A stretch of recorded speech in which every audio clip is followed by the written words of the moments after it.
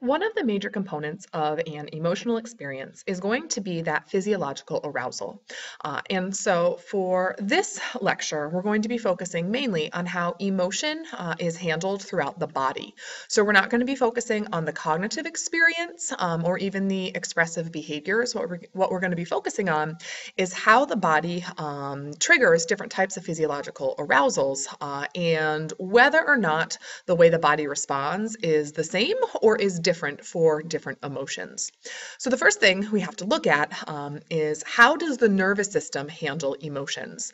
Uh, and so uh, if we think back to when we learned about the nervous system, we learned about all those different functional divisions of the nervous system. Uh, and the division that we're going to be looking at for emotional experience is going to be specifically uh, the autonomic nervous system. Remember, that's the autopilot feature of our body. Uh, and when we are in uh, some sort of emotional experience, the autonomic nervous system is what is going to create physiological arousal. Um, even more specifically, it's going to be the sympathetic nervous system.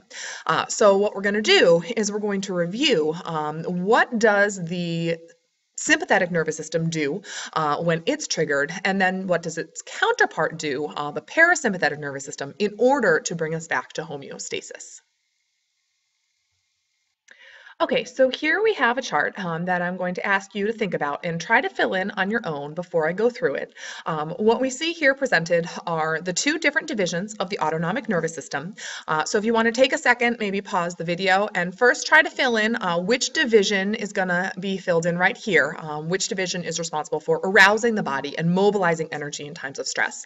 And then over here, which division is in charge of calming us back down um, after a, stress, a stressful experience experience has ended.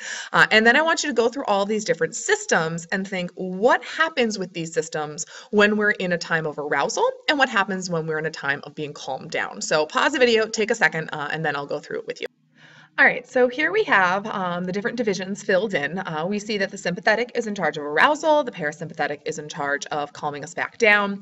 Uh, and the way that I always remember um, what happens with all of these bodily systems um, is first, I'll try to think about what happens to me when I'm in some sort of anxiety provoking situation. I know for a lot of you guys, maybe presenting in front of a classroom is stressful. So think about all of the things that happen when you're presenting in front of a classroom. Uh, and so you can quickly tick off a couple of these. Uh, for example, example, um, you know that your heart rate starts to accelerate. Um, that's why you get like a little bit trembly when you're presenting. Um, you also get a little trembly because those stress hormones now are flooding your bloodstream, so you can see the adrenal glands at work. Um, also, a lot of times you have to start drinking water uh, when you're presenting because you get sort of that like dry cotton mouth feeling uh, because your salivation is decreasing. Um, you start maybe to get a little bit sweaty, uh, and so we can see uh, there that the skin is going to be perspiring.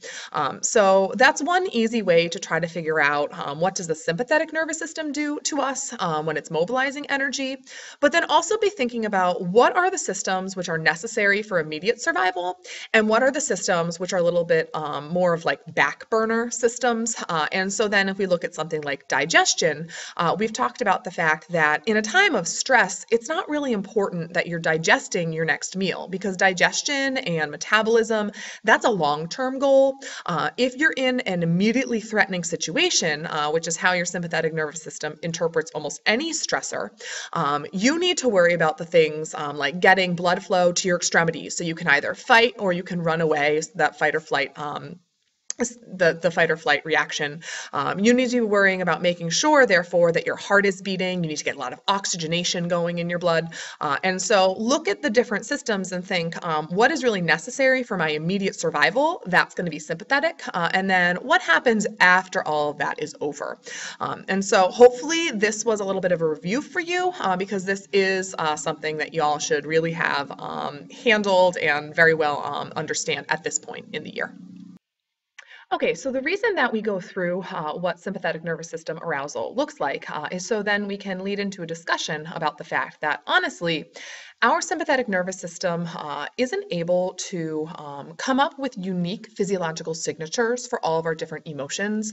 Many emotions are actually biologically and physiologically um, similar, uh, almost identical. Uh, and so when we look at uh, what the body is doing, when it's feeling, for example, extreme fear uh, that we see here, or when it's feeling extreme anger, how we see here, or even if it's feeling sexual attraction or love, um, the body responds much the same way. Uh, and so, even though if we think back to the James Lange theory of emotion, which suggests to us that every single emotion has a unique and distinct physiological signature, when we look at key markers, heart rate, perspiration, um, any of those systems involved in arousal, when we look at those markers, they really aren't that distinct for each emotion. Uh, and so, generally and broadly, emotions are very, very similar physiologically, and they're very difficult to tell apart.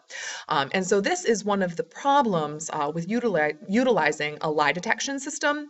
Uh, so, what I'm going to have you guys do is I'm going to have you watch um, the video clip that I've linked uh, in the description, uh, and you'll see there uh, how it's pointing out the problem with a lie detector.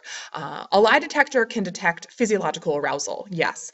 However, our physiological arousal is the same for fear and anger and love. Uh, so with a lie detection system, you can tell if someone's uncomfortable. Uh, you just can't tell why they're uncomfortable.